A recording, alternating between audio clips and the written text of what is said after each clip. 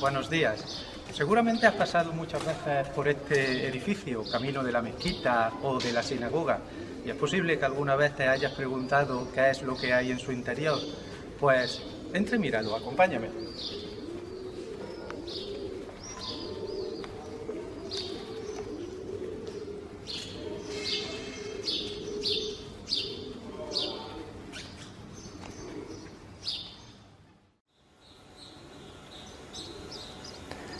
Por cierto, mi nombre es Ricardo Córdoba, soy decano del centro y esa fachada por la que acabamos de pasar encierra detrás de sus muros la Facultad de Filosofía y Letras de la Universidad de Córdoba, una facultad donde se reúnen todos los estudios de la rama de artes y humanidades y que casi como corresponde ¿no? a los propios estudios que se desarrollan en su interior, Está albergada en un edificio de carácter histórico, un antiguo hospital del siglo XVIII, construido en 1701 por el cardenal Salazar, ese cardenal eh, de quien lleva la plaza el nombre y que ha estado dedicado a hospital durante mucho tiempo, a lo largo de siglos de la historia de Córdoba, hasta que en el año 1971 pues, se convirtió en sede de lo que inicialmente fue un colegio mayor y actualmente es la Facultad de Filosofía y Letras.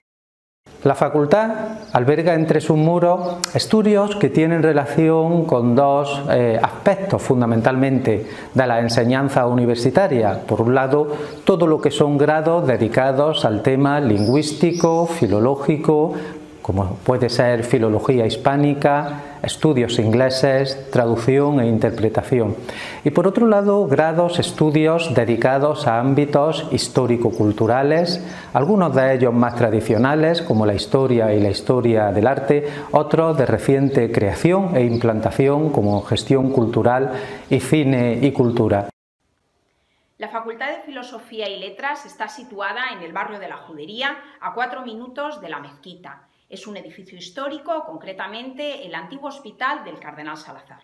Contamos con una amplia oferta formativa constituida por siete grados y cinco dobles grados. Entre estos dobles, tres de ellos incluyen traducción e interpretación, uno con filología hispánica, otro con estudios ingleses, un tercero con turismo, después tenemos un cuarto doble grado que es estudios ingleses y educación primaria y un quinto que es historia e historia del arte. Además, entre los grados simples tenemos gestión cultural y cinicultura, que se puede cursar tanto en modalidad presencial como en modalidad a distancia.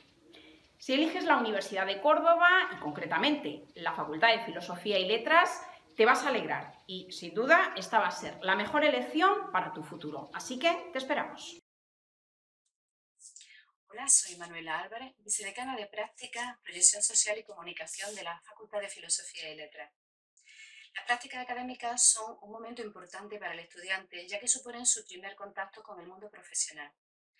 La Facultad de Filosofía y Letras ha firmado numerosos convenios con empresas relacionadas con el mundo eh, de la traducción, con el mundo de la enseñanza, como colegios, em, academias de idiomas, así como también con eh, hoteles, bibliotecas, archivos, empresas editoriales. Se han firmado también importantes convenios con eh, organismos públicos como eh, la Filmoteca de Andalucía, el Archivo Histórico Provincial o el Ayuntamiento de Córdoba. Muchas de estas prácticas han supuesto finalmente para el alumno su primer contrato laboral. Si quieren más información sobre la facultad y eh, sobre su grado, sigue su página web, así como también sus redes sociales. Elige la Universidad de Córdoba, Elige la Facultad de Filosofía y Letras. No te arrepentirás. Te esperamos.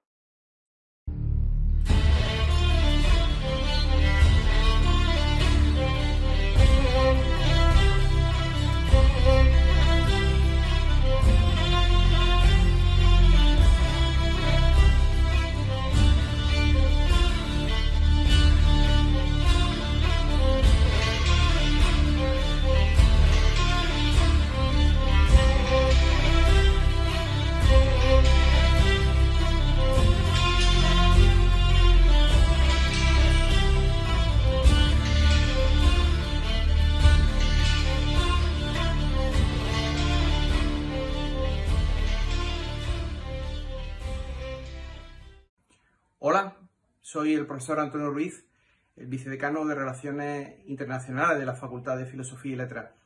Em, precisamente uno de los puntos fuertes de nuestra facultad es el número de convenios internacionales que tenemos firmados con universidades extranjeras eh, por los cinco continentes. Eh, gracias a más de 500 convenios eh, firmados con dichas universidades nuestros y nuestros estudiantes pueden estudiar bien un semestre, bien el curso completo en una de dichas instituciones. Eh, durante más de 20 años hemos hecho un gran esfuerzo por tener los mejores socios académicos alrededor del mundo y mm, gracias a dicho esfuerzo hoy podemos enviar eh, alumnos y alumnas a universidades como eh, Oxford, con la que recientemente hemos firmado un convenio, la Universidad de Edimburgo, University College en, Londres, eh, King College en Londres, la Universidad de Zurich, la Universidad de Sorbonne en París. Eh, también podemos presumir de tener el programa de intercambio con Estados Unidos más antiguo. El programa Presco lleva con nosotros más de 30 años y eh, lo oferta un consorcio de universidades norteamericanas de prestigio como por ejemplo Wellesley College, donde estudió Hillary Clinton o la antigua secretaria de Estado Madeleine Albright. En resumidas cuentas, si de verdad quieres conocer otras culturas, si de verdad quieres estudiar en otra lengua, si quieres eh, estudiar en el extranjero y recorrer el mundo, creo que sinceramente la Facultad de Filosofía y Letras tiene una oferta muy atractiva. Te esperamos. Si siempre te han interesado cuestiones relacionadas con la lengua y la literatura española, si tu vocación ha sido la de la enseñanza del español, si has mostrado interés en todo aquello relacionado con la creación, con el teatro, con la escritura y la cultura literaria, te estamos esperando en el grado en Filología Hispánica. El español es la cuarta lengua del mundo en función del número de hablantes. Esto hace que sea una importante fuente de riqueza cultural y económica cifrada en más del 15% del Producto Interior Bruto y con más de 3 millones y medio de profesionales relacionados con la enseñanza del español las salidas profesionales son cada vez mayores. Además de la docencia, puedes encontrar un importante campo de trabajo tanto en el asesoramiento lingüístico como en la edición de textos y en todo aquello relacionado con la enseñanza de español para extranjeros. Si eres una persona inquieta, creativa y reflexiva, que te gusta todo aquello relacionado con la lingüística y con la literatura española, te estamos esperando en el grado en Filología Hispánica. El grado de estudios ingleses se imparte en la Facultad de Filosofía y Letras, un edificio situado en el casco histórico de Córdoba. El plan de estudio de este grado, enmarcado en la rama de Artes y Humanidades, em, ofrece una sólida formación filológica en las áreas de la lingüística, literatura y la cultura de los países de habla inglesa. El grado de estudios ingleses eh, permite la adquisición de una serie de competencias eh, de comunicación en, lengua inglesa y en otras lenguas modernas, tales como el italiano, el francés, el alemán o el árabe. Y permite también el uso de los recursos asociados a la investigación filológica, tanto en lingüística como en literatura. Desde el punto de vista de la inserción laboral, el, título de graduado o graduada en estudios ingleses ofrece salidas profesionales muy diversas tales como la docencia en enseñanza secundaria y, bachillerato. Esta sería la salida mm, tradicional mm, del grado y también la investigación y docencia en el ámbito universitario. Por otra parte, el grado ofrece una formación básica complementada con la adquirida en los másteres permite ejercer profesiones tan diversas como la edición de texto o el comercio exterior. En este sentido, las prácticas externas, un módulo de seis créditos, que el estudiante realiza en el último curso de la titulación aporta conocimientos de los distintos entornos profesionales vinculados. ¿Alguna vez te has planteado hasta qué punto son importantes los idiomas y la traducción especializada en este mundo globalizado e interconectado? Reuniones internacionales, diplomacia, economía, instituciones, pero no solamente eso. Piensa también todos los elementos que han sido traducidos en tu vida cotidiana. Por ejemplo, las pastillas que te ha recetado el médico, la crema que utilizas a diario, las instrucciones de tus electrodomésticos, tu película favorita o tu videojuego han sido doblados o subtitulados. Si te gustan los idiomas y la traducción, vente a la Universidad de Córdoba.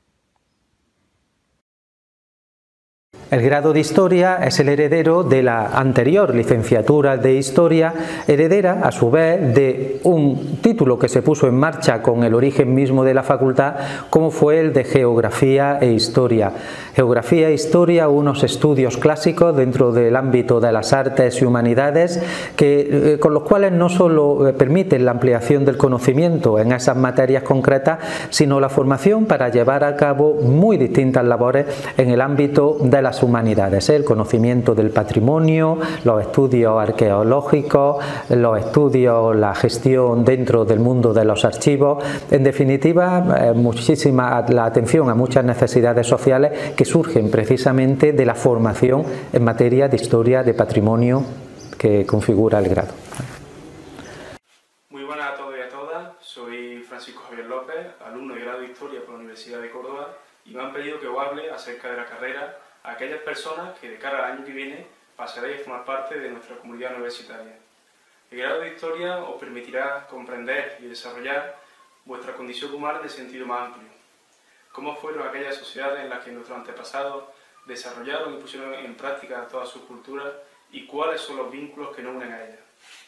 Hola, soy Esperanza y soy alumna del grado de Historia en la Facultad de Filosofía y Letras donde tenemos clases en las que podemos aprender historia de forma distinta y divertida, convirtiéndonos en personajes históricos como el Cid Campeador, Sancho II, Guzmán el Bueno. ¿Te gustaría vivir la historia de la misma forma? Atento. A muerto se ha ido, no hay memoria de amistad. Por rey vivo no te acuerdas de mi muerto. Tanto supone la privanza de don Sancho y su favor, que pospongas el amor de mi padre, y que por Dávida prometida olvides la recibida de a quien debes más que a ti. Caballero Rodrigo, de jinete a humilde pregonero. Cada nuevo de mi hermano conozco y contra mi voluntad tiene su gozo. Mis caballeros se preparan e incluso si es necesario... Durante un asedio, más que la fuerza de las armas, la esperanza. No digas nada que pueda alejarla o acercará al enemigo. no estoy hablando de Tarifa, estoy hablando de nuestro hijo. Ya veo lo que te importa. Me gustaría que quisiera tu hijo la mitad que te quiera a tú mismo. Entonces, ¿no cae tarifa en tu presentimiento? Pero de verdad, nada más que sabe hablar de tarifa, mientras que nuestro hijo Pedro tiene esas manos de ser desquiciado don Juan. Me sorprende. Doy gracias a Dios por no tener presentimientos. Hola, mi nombre es Alicia y soy la coordinadora del grado de Historia del Arte. Me gustaría eh, brevemente presentaros el grado de Historia del Arte eh, sin duda como una carrera en la que una de las salidas profesionales y laborales es el ámbito docente, tanto en instituto como en universidad, pero también tiene otros horizontes y otras perspectivas eh, muy importantes y que tienen que ver con la valoración, con la puesta en valor, con la interpretación y con la difusión de nuestro patrimonio histórico artístico, que como bien sabéis pues es un sector eh, muy importante en nuestra ciudad, Córdoba y en nuestro país. El historiador del arte es quien vela por eh, la difusión y por la defensa de ese patrimonio, tanto en los museos y galerías de arte como eh, a nivel municipal, institucional y a nivel de calle en la interpretación de ese patrimonio cultural, de ese patrimonio histórico-artístico.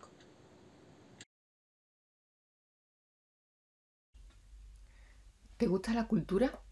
¿Te preguntas cómo es posible relacionar, cómo es posible que podamos explicar todas esas reminiscencias de todas las civilizaciones que han pasado por esta Andalucía nuestra y cómo siguen vigentes hoy en día? Entonces el grado de gestión cultural es tu grado.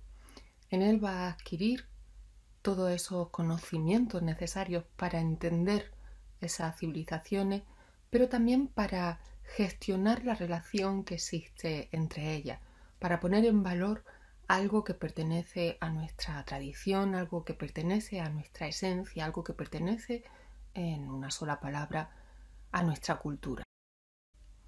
Te animo a acusar el grado de gestión cultural porque en él vas a poder adquirir una visión mucho más humanista de lo que es la cultura.